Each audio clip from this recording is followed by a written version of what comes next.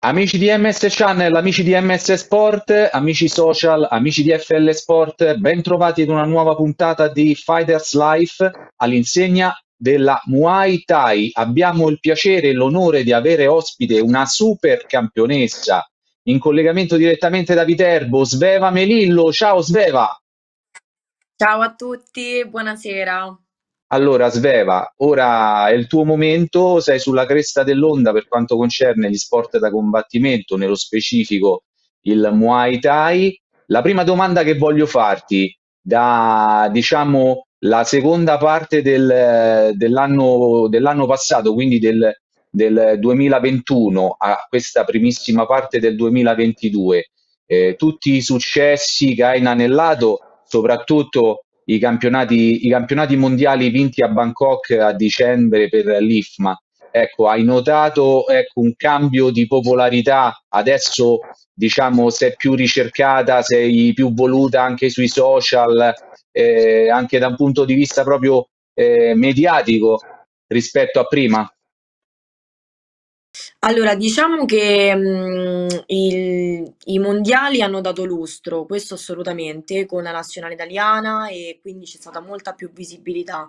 Ovviamente c'è stata anche, siamo- abbiamo iniziato a settembre dell'anno scorso con, con il titolo UMC e quindi c'è stato già da lì un accrescimento e in più a finire proprio l'anno a dicembre è stata, è stata diciamo sì, ancora, ancora di più perché comunque avendo partecipato ai mondiali Bangkok hanno visto eh, ecco, tutto il mondo, poi c'erano 110 nazioni, quindi anche là è stata, è stata insomma mm, bellissima, cioè è stata un'esperienza eh, assurda, quindi sì, e in Italia ancora di più ovviamente, quindi direi di sì.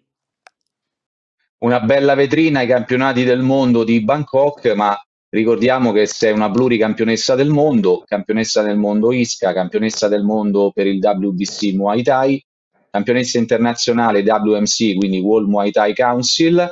E andiamo un attimino, partiamo un attimino dalla- dalle origini. Come nasce Chulamané? Innanzitutto eh, andiamo a spiegare che cosa significa Chulamané, che è il tuo nome di battaglia, e, e poi vorrei che ci illustrassi come ti sei avvicinata al Muay Thai, come ti sei avvicinata agli sport da combattimento, quali sono state le primissime esperienze di Sveva Melillo all'interno delle 16 corde. Sì, allora intanto eh, nasce questo nome Chulamani eh, da una donna Thai, me lo diede lei, per- me lo diede lei questo nome, e mm, significa, è suddiviso da Chula e Mani perché è una, un aquilone che spicca il volo eh, dando lustro a questo, diciamo, diamante o gemma rara preziosa che da mm, diamante è molto, mhmm, diciamo fragile fuori, però duro dentro e questo faceva parte dell'aquilone che spicca in volo del mio percorso, ehm, nell'ascesa dove sto sto affrontando e quindi questo 1 anno fa me lo diede.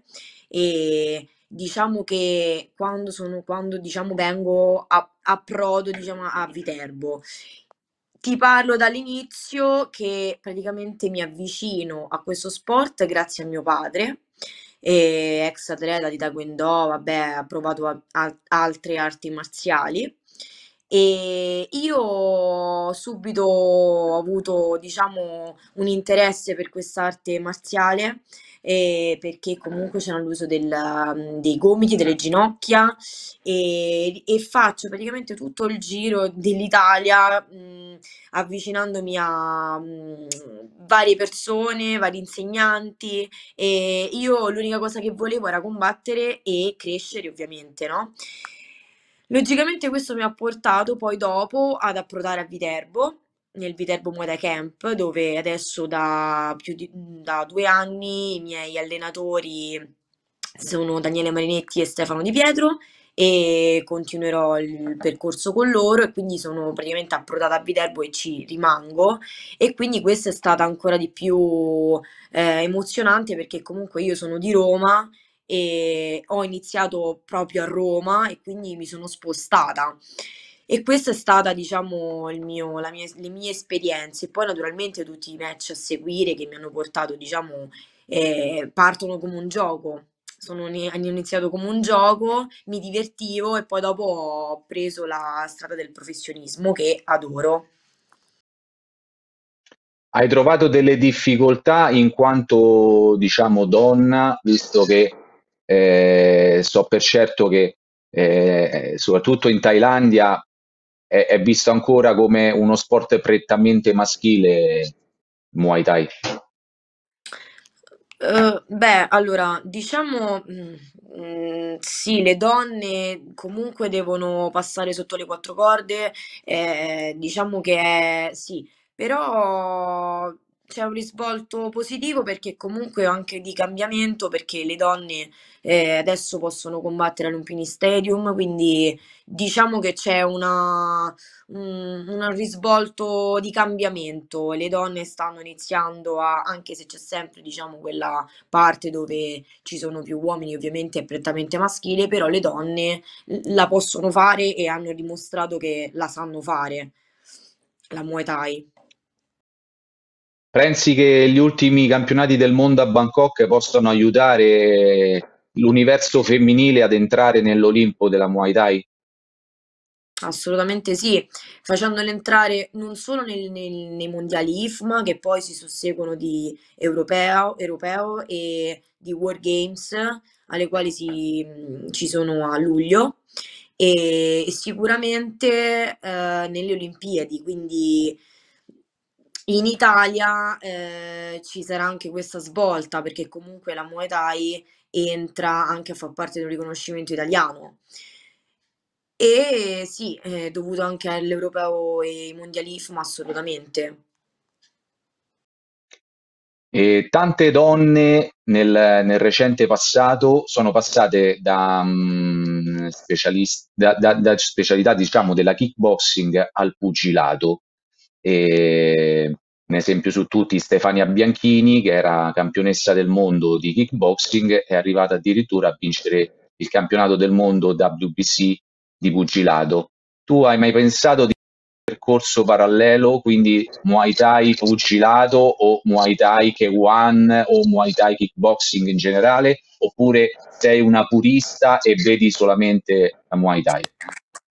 Allora, io in precedenza, in passato, ho fatto anche dei match di K1 mh, per delle selezioni Ottagon nei quali ho partecipato al mondiale Ottagon che ho vinto, però eh, mi sono fermata perché non è, come ha detto, la mia specialità. Noi siamo specialisti e puristi di Muay Thai, quindi assolutamente io, eh, io, farò, io faccio, faccio solo Muay Thai.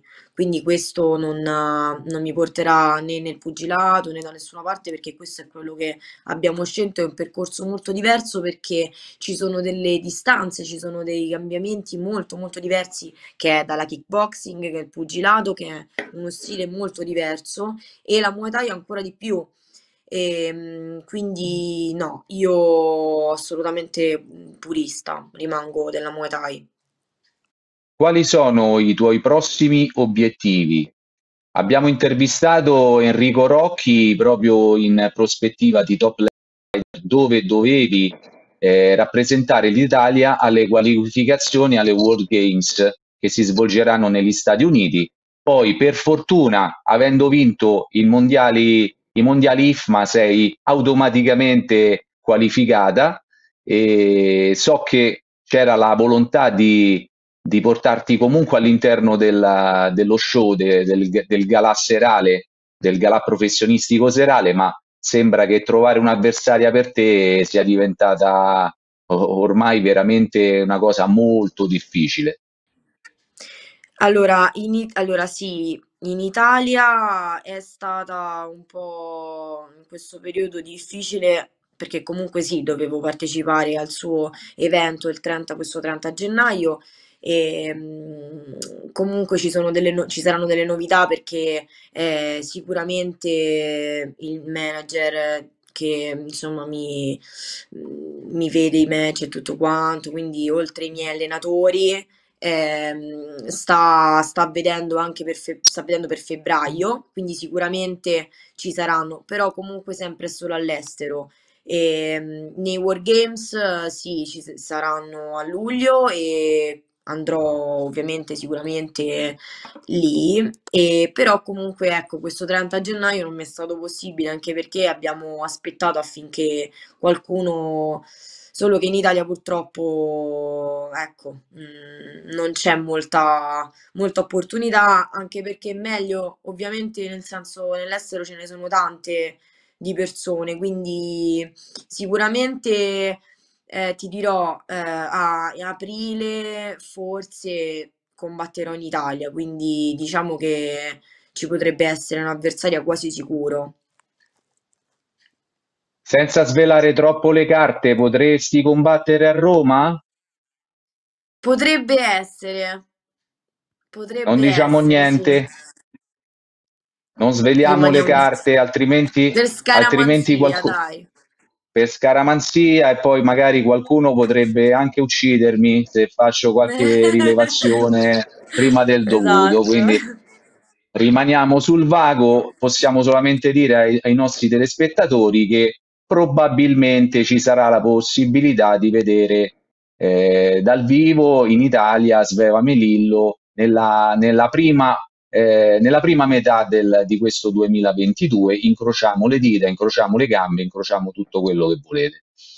Allora, passo indietro, ultimo match disputato in Inghilterra, una guerra che eh, ti ha visto sconfitta all'interno del ring, un match che magari stesso match eh, svolto in Italia poteva darti una vittoria. Come lo hai visto tu quel match? No, allora, eh, allora io sono andata in casa della campionessa e Iman Barlow proprio in casa sua, era il suo evento e l'evento ti dico solo che si chiamava, cioè che sta torna- lei sta tornando, quindi era proprio lei. Lei è proprio la prima del ranking mondiale, quindi io sono andata in casa sua a sfidarla. Ovviamente non si parla di solo in Italia, cioè nel senso è stato un verdetto giusto perché unanimità ha messo quei po' più di colpi dove, dove comunque l'hanno permesso di vincere. Non ti dico, ti direi comunque una bugia se ti dicessi che era stato rubato. Ovviamente ci sono state tante, tante cose nelle quali comunque uno ci si sofferma al di là del, del lato tecnico che ne ho parlato con i miei allenatori, ma il fatto proprio del, sai, delle accortezze un po' di più dove magari ci potrebbe avere l'arbitro, eh, quelle cose sì, perché comunque, sai, eh, ovviamente stando in casa sua, magari uno tutela anche l'avversario, quello sì.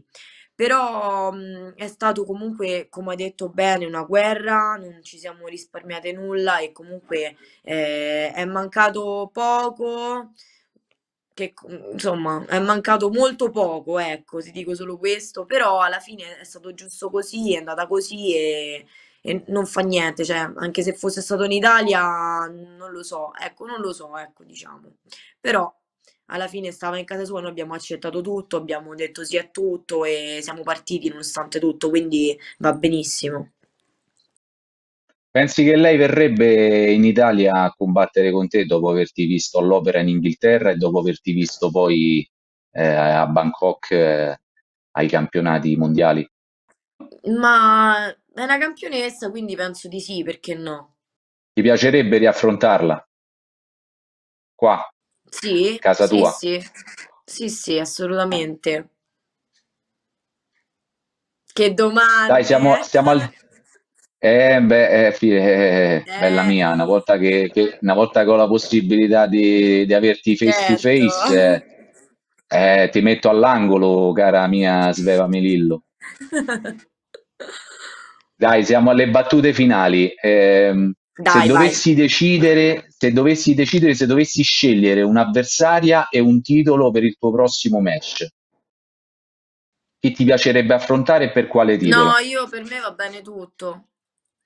Io non ho problemi, cioè nel senso va bene qualsiasi persona. Allora, ultima domanda e poi ti lascio, ti lascio libera. Eh, hai, già, hai già nominato tuo padre che insomma è stato lui a, a trasmetterti la malattia degli sport da combattimento. Ti do la possibilità di fare qualche altro nome ringra- per ringraziare insomma coloro che ti hanno sostenuto, che ti hanno formato e che ti accompagnano nella tua, nella tua professione e nella tua passione. Vai. Assolutamente. Allora, i ringraziamenti sono tanti perché a partire anche da, da- dagli arbori, eh, comunque tutti gli, gli insegnanti che mi hanno sostenuto ai mondiali IFMA e quindi lì sono stati molto eh, di gran forza dove ci sono stati appunto Gianluca Colonnese, Fabio Campos, Fabio Siciliani, tutti gli altri allenatori. È, è partito con noi Donato Milano e alla quale comunque ringrazio che ci ha avuto questa opportunità di accompagnarci. Ovviamente mio padre e tutte le persone dietro che ci sono e ci saranno sempre, i miei allenatori e la Viterbo Muay Camp di tutti i ragazzi che mi aiutano in palestra e che dire, io ringrazio tutti, tutto il mondo. Visto che oltre ad essere eh, simpatica è bella, carina, sei anche una campionessa, ma una campionessa con la C maiuscola, che tu possa anche essere un traino per eh, la Muay Thai anche al femminile, soprattutto che possa essere, che possa diventare un'ambasciatrice della Muay Thai italiana nel mondo e che quindi ecco, possa, possa dar, ci possa essere lo spazio che, che veramente merita, sia proprio la disciplina Muay Thai che comunque negli ultimi anni ha avuto un'espansione veramente notevole, anche e soprattutto in Italia con i grandi galà, con i grandi galà di combattimento, ricordiamo eh, il Thai Fight, eh, il Fighting Spirit Muay Thai di, del team colonnese, eh, Thai Box Mania, eh, Ring War, comunque ci sono eh, molti eventi, top level fight, tanti tanti eventi internazionali interamente dedicati eh, alla Muay Thai, The Night of Kick and Punch di Angelo Valente. E mi scuso con tutti coloro che non ho nominato, però ci sono tanti, tanti galà internazionali di primissima grandezza che veramente collocano l'Italia ai primissimi posti della, eh, della, della Muay Thai eh, a livello internazionale. E quindi ecco, speriamo che tu possa essere un bel traino per tutto il movimento. Assolutamente soprattutto perché comunque con le donne è, è una, un'espansione notevole, quindi sì. Sveva, grazie per essere stata con noi. Grazie, no, grazie a voi, grazie dell'invito, grazie di tutto. Ci vediamo presto, tanto, Valerio? Assolutamente, è sempre un piacere. Grazie, grazie a Sveva Melillo.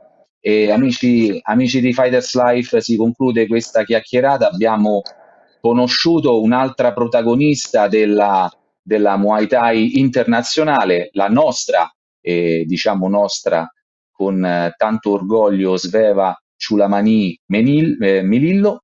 Eh, vi ricordo sempre di rimanere con noi, vi ricordo sempre di sostenerci perché Fighters Life is the next generation of fighters e ricordiamo ancora una volta i nostri appuntamenti Fighters Talk tutti i mercoledì dalle ore 14 on air con Alberto Frati e Massimiliano Maone e a seguire, a seguire, nos- eh, la, seguire la nostra puntata abbiamo l'angolo neutro a cura di Yuri Alviti, quindi eh, vi invito a rimanere Mediasport e sui canali Fighters Life. Alla prossima settimana.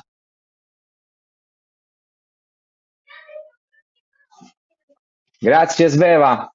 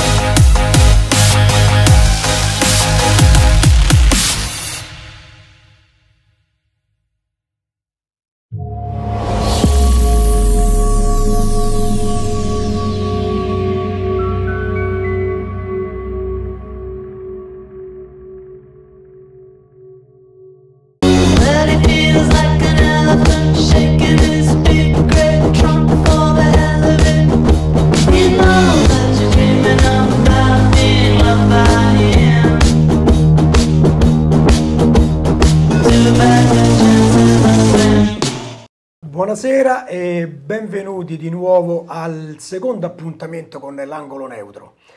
E voglio fare una piccola premessa prima di iniziare a parlare con i miei due ospiti che questo programma non si farà mai condizionare né dal mainstream né dal politicamente corretto. Detto questo qui posso pure iniziare.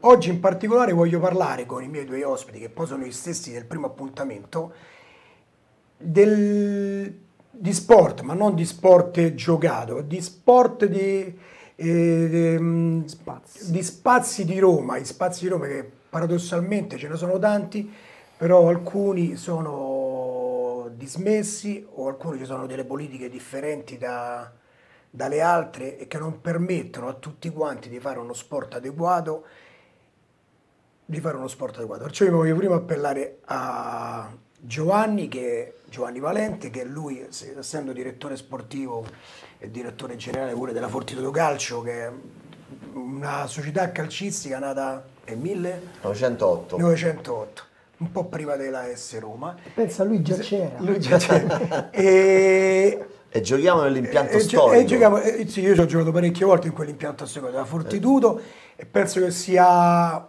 era quel, quel campo penso che sia pazzesco come, come era? Guarda, allora, eh, il campo del Gioventù Italiana, sì. che è stato fatto negli anni 30 e credo che ad oggi sia il secondo o il terzo impianto più antico della, de, della città. Eh, chi ha giocato a calcio a Roma obbligatoriamente è passato, è passato, da quel campo lì, almeno una volta nella vita ci ha giocato perché ha ospitato l'Almas, la Libertas Campidoglio, eh, la Fortitudo, eh, l'Epiro, insomma tutte squadre di un, di, un certo, di un, certo, livello, storicamente squadre che hanno fatto la storia del calcio dilettantistico romano e quindi eh, tutti quanti sono passati lì. Io ho, ho, ho trovato una foto bellissima degli, degli anni 30, dell'inaugurazione, anzi no, del, del 47, eh, quando dopo la guerra ha riaperto il, il campo dove c'è una partita Almas-Lazio, eh, che hanno giocato lì al, al, al, al, Gioventù Italiana e quindi parliamo della storia del, del calcio romano. Però io, a prescindere dalla fortuna adesso, io sono stato al centro l'altra settimana a vedere è cambiato un po' perché il calcio a 11 paradossalmente non sì. c'è più, sei rimasto con, dai, però dai vita ai bambini che c'è sì. una buona Noi scuola abbiamo, calcio. Abbiamo 210 bambini in scuola calcio, abbiamo fatto un progetto rinnovato tutto quello che è l'impianto sportivo perché eh, logicamente ci siamo voluti e dovuti adeguare a quello che sono i tempi moderni, però abbiamo sempre mantenuto quello che è la storicità dell'impianto, tant'è che la parte quella di bida a spogliatoio la, attraverso una ricerca storica che ho fatto alla Biblioteca Nazionale, attraverso libri di architettura degli anni 30, eccetera, eccetera, eh, l'abbiamo riportata agli stessi colori e alla stesse fattezze che era appena, quando era stato appena costruito quell'impianto sportivo. Quindi nella parte esterna e nella parte muraria l'abbiamo riportata agli anni 30, da quando, da quando era stato Posso creato. dire una cosa, che lì ancora si vive qualche cosa di sport noi vero, viviamo, Allora, noi, eh, la nostra realtà è la classica realtà di quartiere. Noi siamo molto legati eh, a quello che è il quartiere San Giovanni, noi sì. lo, lo, viviamo, l'Appio, eh, l'Appio Metronio lo viviamo 365 giorni l'anno H24 e quindi eh, insegniamo ai bambini l'attaccamento alla propria maglia, ai propri colori sociali e a quello che è il proprio quartiere, che per noi è fondamentale, per non perdere quelle che sono le radici eh, storiche, umane eh, della nostra città e dei nostri quartieri. Io posso dar conferma su questa cosa, ma ti spiego perché. Poi voglio passare un attimo alla domanda a Francesco. Do conferma su questa cosa perché mi è capitato un paio di settimane fa di andare a pranzo con alcuni personaggi che tu conosci. Eh, con Alessandro, diciamo i nomi, tanto so, eh, con Mauro, c'era Giorgio, c'era, mh, mm, racconto un po' la storia pure privata, perché questo, questo programma qui è pure su storie private, eh, non so storie di tutti, è una storia privata che condivido con gli amici perché conoscono la mia storia e io conosco paradossalmente la storia di, di chi viene qua dentro a presenziare. E ho notato una cosa, che c'era, c'è proprio una sorta di aggregazione, questo San Giovanni, c'è proprio una sorta di aggregazione, voi siete rimasti lo stesso gruppo Da 30 dopo- anni. Da 30 anni lo Sì. stesso gruppo e fate ancora vive. Sta, sta storia qui ancora la fate vive. Certo. Cioè, io sono rimasto e ho detto dentro di me, cavolo, dico, io sono nato e cresciuto a Trastevere, generazioni, sette generazioni, ho casa di mia nonna, sono 150 anni, però io sta cosa di vivere a Trastevere non ce l'ho più. No, noi, noi ha- è, è stato... ehm, Ma non ce l'ho più perché è cambiata Trastevere. San Giovanni forse è rimasta quella che San. Giovanni forse è rimasta quella, diciamo che anche se noi eh, ci siamo un po' allontanati da San Giovanni nel, Sì. per il discorso delle famiglie, ma abbiamo un punto di ritrovo Punto di- sì. che è il centro sportivo. Bene o male, almeno due volte l'anno ci rivediamo tutti quanti lì, ma lo viviamo H24 H24, perché, sì, sì. come tu sai, noi abbiamo la Fortitudo calcio, La Fortitudo box. la Fortitudo box, la Fortitudo, eh, adesso abbiamo anche la Fortitudo paddle Sì. e abbiamo la polisportiva Fortitudo che mette insieme tutta una serie di sport e sono tutti legati al centro sportivo, ma queste attività sono tutte gestite Da da ragazzi che sono cresciuti insieme da Giovanni. 30 anni e sono tutti di San Giovanni. tutti San Giovanni. Quindi ecco dove, perché ti dico, eh, per noi è stato importante ed è importante insegnare ai bambini quello che è la, eh, la storicità di quel campo e quello che è la, la- la forza del quartiere e quello che... Noi abbiamo il derby, Sì. che molti quartieri non hanno, noi abbiamo il derby con la Romule, che ci sta a come no? 500 Eh, metri 500 avanti, via Sagno, sì. con, dove c'è una dia- diatriba, ma chi è nato primo, il campo, il campo Campo Roma, Roma o il campo da della- Fortitudo? E chi vince il derby? Il derby noi lo, lo viviamo anche con i bambini di 8 anni, è quando vanno a giocare alla Romule. il presidente, il direttore generale, dice sempre ricordatevi che il derby è un Roma-Lazio È logico, sì, sì, della- che c'è. Noi abbiamo i colori bianco-blu, Blu- loro hanno i colori giallo-rossi, giallo- è, è è normale, è normale che sia così. se no dalla nostra federazione tutte le parti. Ass- ass- assolutamente. Assolutamente. Però ad oggi ancora, Sì. se eh, ci sono ragazzi che vengono a giocare a calcetto lì da me, che hanno 23, 24, 25 E anni, sono figli dei figli. sono, c- hanno i bambini che li portano lì da noi e ancora si ricorda, ti ricordi il derby che abbiamo fatto, abbiamo vinto eh, con bello, con la con bello, via via. bello. Tradizione anche A quella. Trastevere, È per tradizione. esempio, a Trastevere, per esempio, noi, è noi avevamo Trastevere, c'era il Trastevere Calcio che ha fatto buoni livelli, cioè una buona società è stata. Poi c'era la Smith Trastevere che è nata sotto la forza di Roberto Davini, che è un personaggio di Trastevere, nato e cresciuto a Trastevere, e poi è andato tutto a morire. È, è quello, anche perché noi non avevamo un campo. Non c'è un campo, Noi ci esattamente. dovevamo andare a emigrare a Viale Marconi, ai Esatto, campi del Trastevere. Sì, dicevano i campi del Trastevere. Sì, che sì, poi... sì, adesso adesso, invece- adesso è andato a Trastevere tramite Berruti, che Sì. è il proprietario di un ristorante che sta a Trastevere. Carlo è- Menta. Sì, ma non è lui Carlo Menta, è il proprietario Carlo Menta, è il vecchio padrone. Sì, Lui è certo, rim- eh. si è rimasto con nome Carlo Menta Menta. E ha ridato vita un po' al Trastevere Calcio. Tutto io non riesco a capire perché lui non si affida pure ai Trasteverini, perlomeno concedendo qualche cosa a loro, una partita, venite a vedere una partita gratis, magari dopo vi faccio uno sconto su un abbonamento. Non esiste, è tutta una cosa fine a se stesso, punto e basta. E sono un po' deluso da sta cosa, magari un giorno poi ne approfondirò, l'approfondirò con altre persone, magari vicino a Trastevere, che ne sanno molto più di me. Però la domanda che voglio fare invece a Francesco è una Francesco.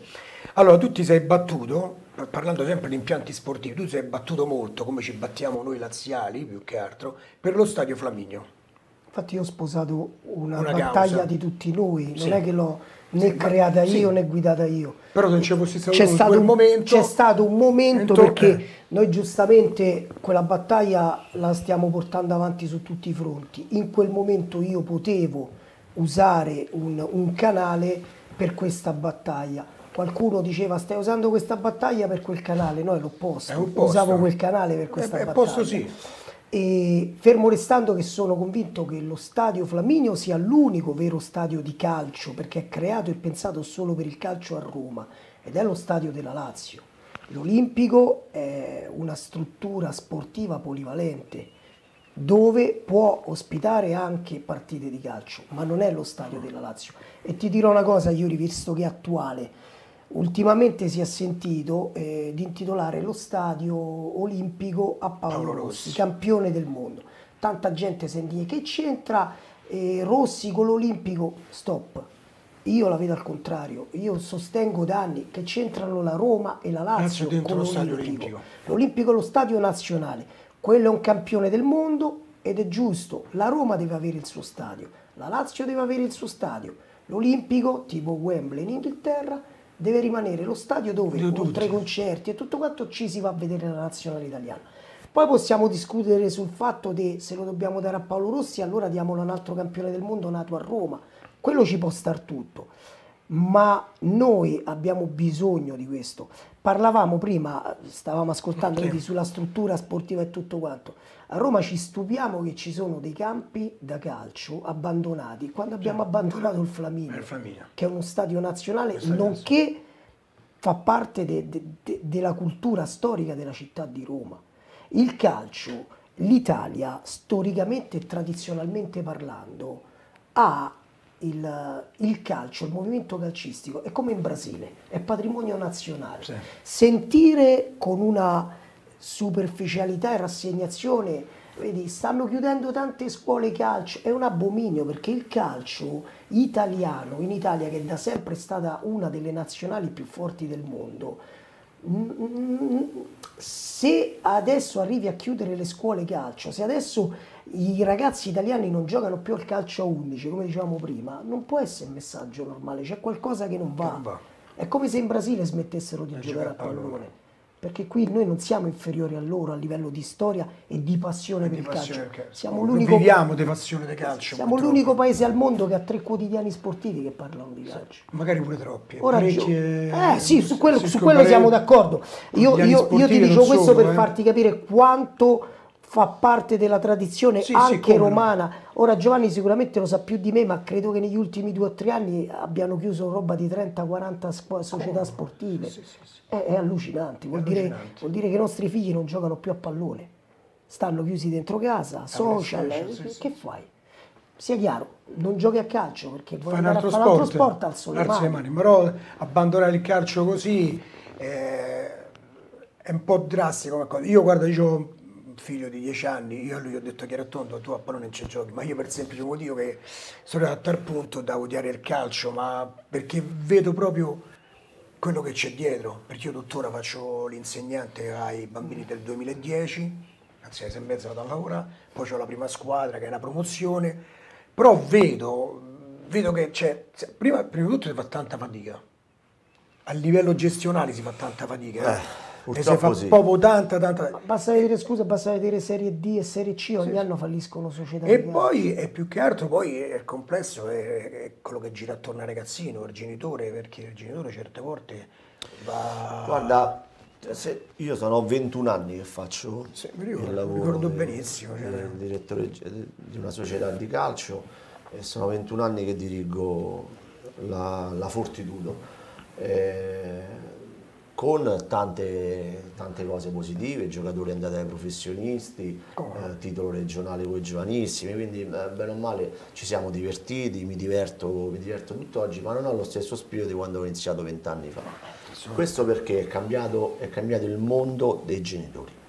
Eh, io dico sempre che eh, vorrei tornare a fare l'agonistica, che oggi non faccio più, faccio solo la scuola calcio perché a me piace stare in mezzo, in mezzo ai bambini, al momento in cui riesco a fare le squadre orfani, perché eh, i genitori... È vero, Bella, eh, sì, è sì, così. sì, sì, così, sì, e, e spiego anche il perché, può sembrare una cosa abominevole, ma deve essere così, perché il genitore ehm, mette le sue aspettative di, tra virgolette, sportivo fallito all'interno di suo figlio. E quindi hanno tutti un Totti eh, sì, o sì, un sì. eh, Pelé dentro casa e non sanno invece che quel bambino deve stare lì per divertirsi.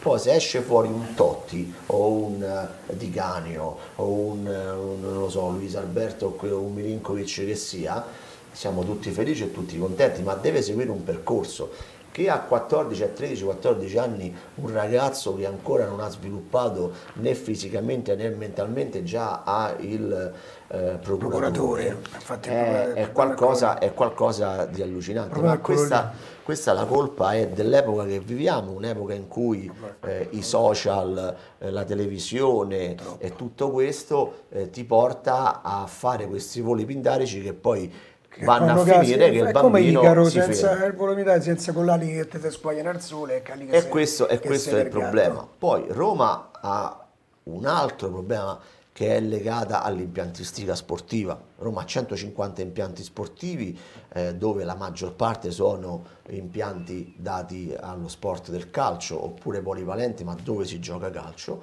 ma che sono nella maggior parte dei casi tenuti male o abbandonati.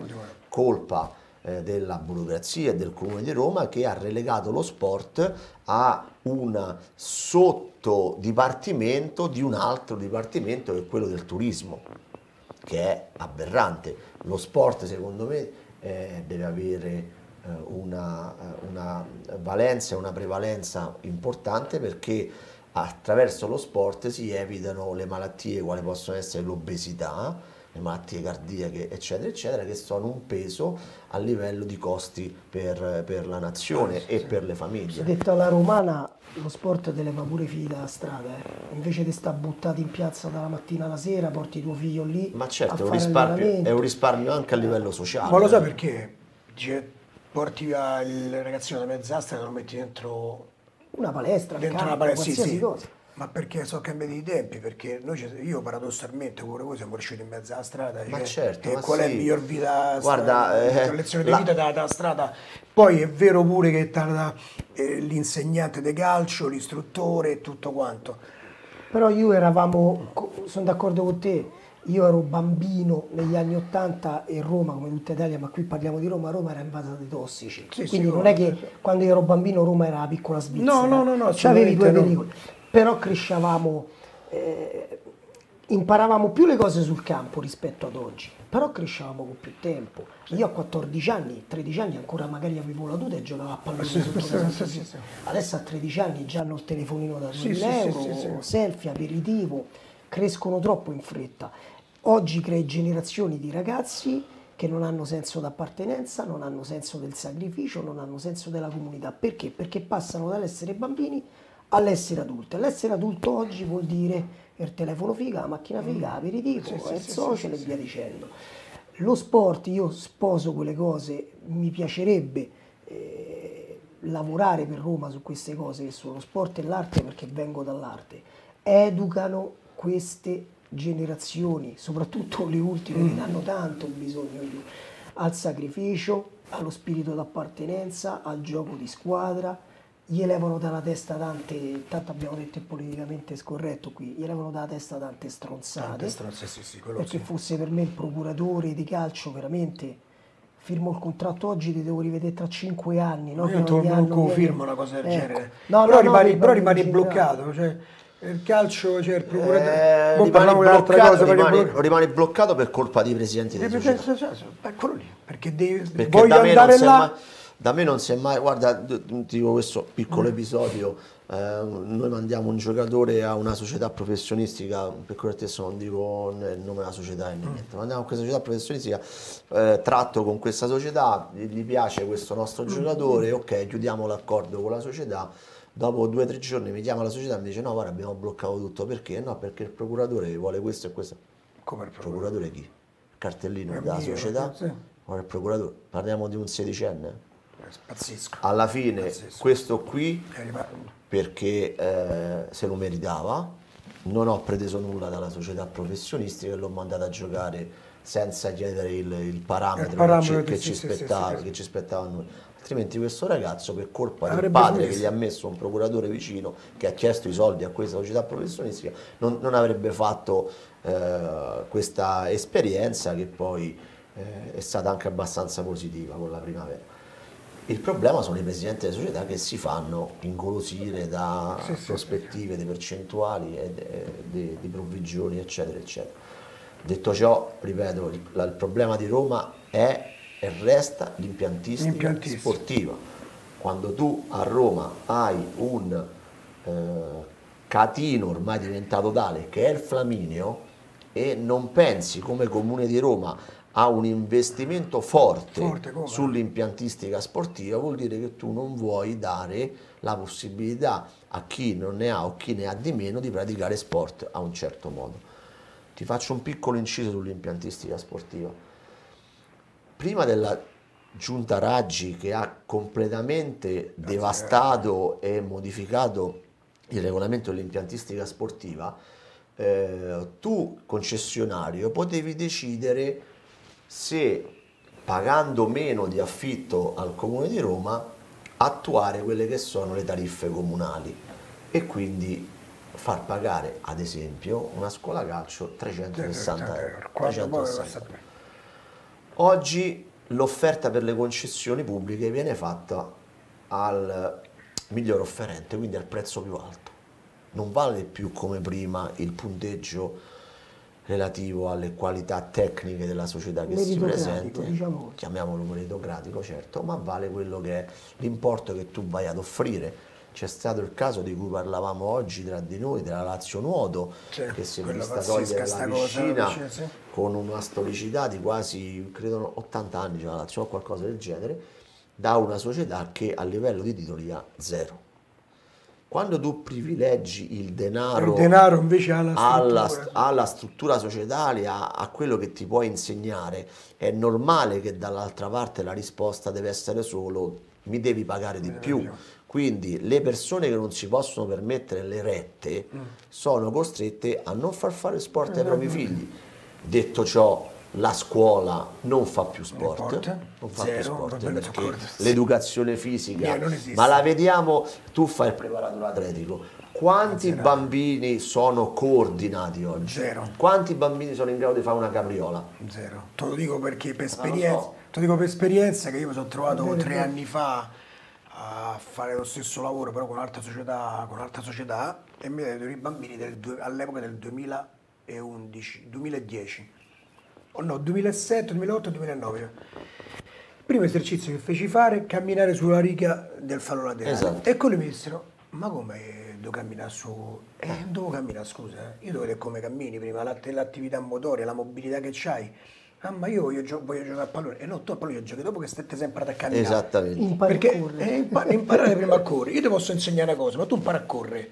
Ma come sarebbe a dire? Ecco, comunque ho camminato e mo torna indietro. Come sarebbe? E mo torna indietro sulla stessa linea se ci riesci e vedevi i ragazzini che purtroppo... Che non sono capaci. E purtroppo è lo sbaglio. Io voglio concludere un attimo questa cosa del calcio perché voglio mettere in atto su altri sport, ma per il semplice motivo perché abbiamo parlato del Flaminio. Solo adesso, solo adesso, solo adesso ci sono le società che partono già dai piccolini 2015, ma quello dai 2015 ho detto no per carità di Dio, ne voglio più fare ragazzini no, piccoli. È difficile. È difficilissimo, con un'altra società che dove abito io, e che insegnano qualche cosa, ma fino a, parlo dieci anni fa, questo non si insegnava.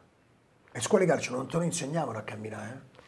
Allora, c'è... Non insegnavano proprio, tutto per certo. Chiudiamo, chiudiamo il discorso calcio perché... Chiudiamo il discorso calcio dicendo che ehm, per quello che riguarda ad esempio quello che è il nostro progetto a scuola calcio è cambiato assolutamente negli ultimi cinque anni, l'abbiamo completamente rimodulato e eh, facciamo nelle fasce più piccole, quindi i primi calci, i piccoli amici, eccetera, eccetera, il, eh, un discorso di co coordinazione uno contro uno, uno, contro uno coordinazione. Sì, sì, coordinazione. uno contro uno cominciano a fare al secondo o al terzo anno all'inizio gli diamo proprio la coordinazione corporea, motoria, come devono correre, come devono... Sì, eh. Anche, ripeto, la semplice capriola è importante perché che ti dà il coordinamento, ti, dà, ti, ti, fa fare, ti, fa fare, tante cose. E noi siamo ripartiti da lì, dall'ABC, dall'ABC. per arrivare poi agli esordienti all'ultimo anno in cui già fanno la, la tattica, come si sì, mettono sì, in campo, eccetera, eccetera. Non lo fa quasi più nessuno. Più nessuno. Perché? Perché noi abbiamo fatto un progetto che si ferma agli esordienti e quindi non abbiamo l'agonistica. Chi ha l'agonistica deve preparare i bambini esclusivamente per vincere sopra. Noi no, noi prepariamo, prepariamo i bambini a giocare a calcio. E dico sempre a tutti i genitori che vengono lì, ah ma mio figlio non è portato. No, no.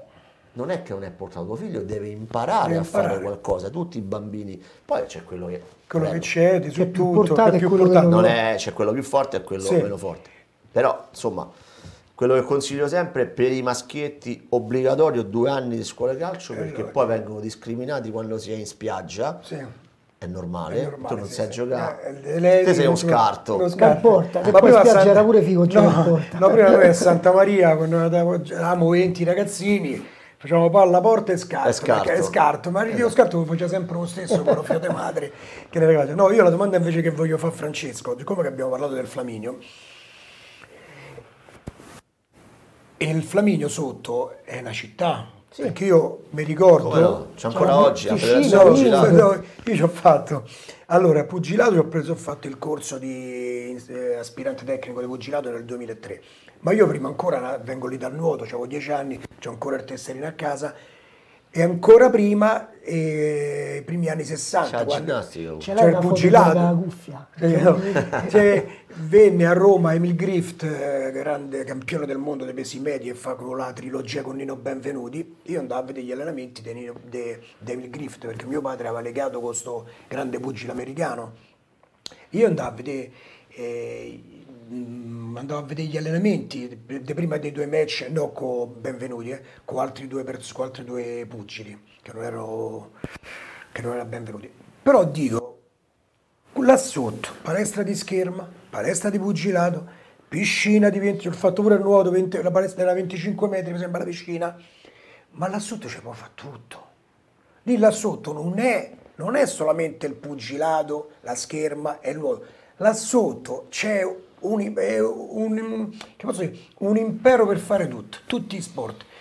Perché, io la domanda che voglio fare a Francesco è perché va bene lo stadio Flaminio, però perché non si vive dalle altre parti, a prescindere dal pugilato che adesso sta rinascendo, no? come parecchie però e gli altri sport che potrebbe essere la scherma, che abbiamo avuto campioni eh, in Italia. Abbiamo ancora. Con, Guarda. con eh, tutti- è dopo Valentino Rossi l'atleta italiano più vincente Eh. della storia. Perché gli altri sport, quelli che erano sotto, che sono sottovalutati adesso, ma prima non lo erano, perché non riescono ad emergere? Per Ti quale spiego, motivo? ti spiego subito il motivo.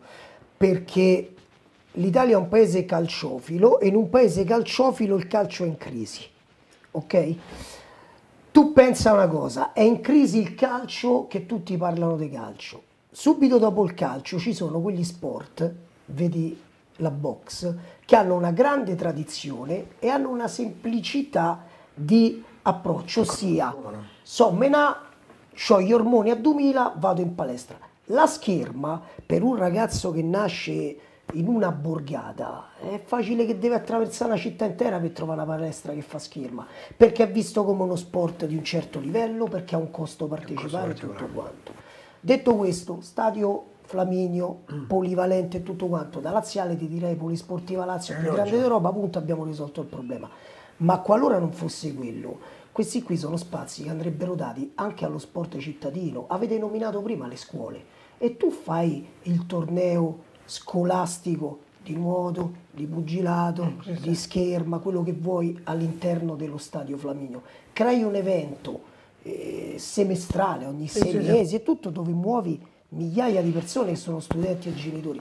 Ci sono i metodi di, di fare. Per quanto riguarda poi lo sport di per sé, ti hai detto eh, la scherma e ci sono altri sport, devi, devi mettere a disposizione tu Stato, tu Comune, le scuole la possibilità di farlo. Sei uno studente di quella scuola. Ora ti faccio un esempio, le mie bambine stanno andando, eh, le gemelle, stanno andando da ormai tre mesi al circolo canottieri Agnene e fanno canottaggio.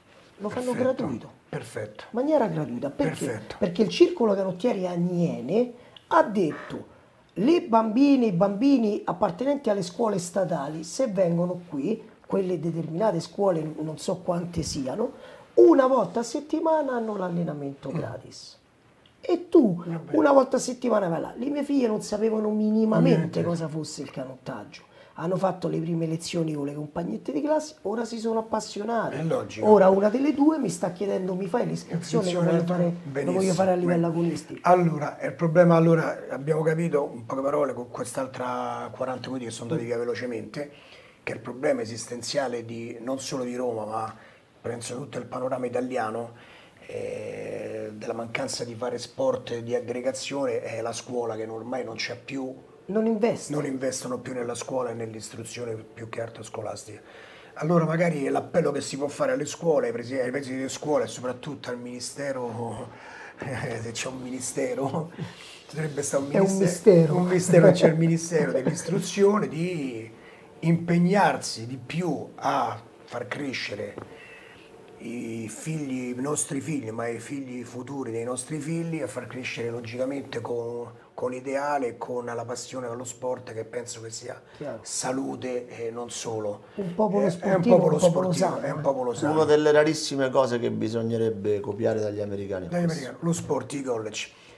Va bene, io vi ringrazio, spero che- di avervi un po' aperto le menti per quanto riguarda la prima parte che è su Roma Capitale e la seconda sullo sport. Investimenti, ci vogliono investimenti. Arrivederci e buona serata.